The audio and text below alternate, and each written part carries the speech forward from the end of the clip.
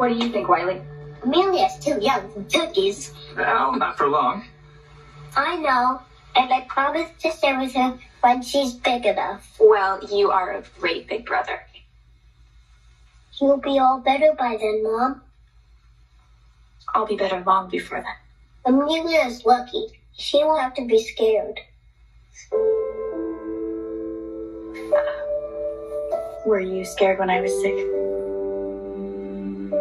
Went to the hospital, I was afraid you wouldn't come home. No.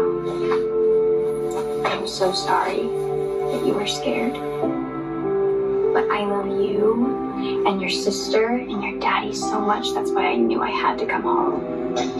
And I'm not going anywhere. So you have no reason to be afraid now. Can I stay up all night? I'll tell you what, you can stay up as long as Amelia does. Stay! Stay awake, Amelia. I told you I'm not going.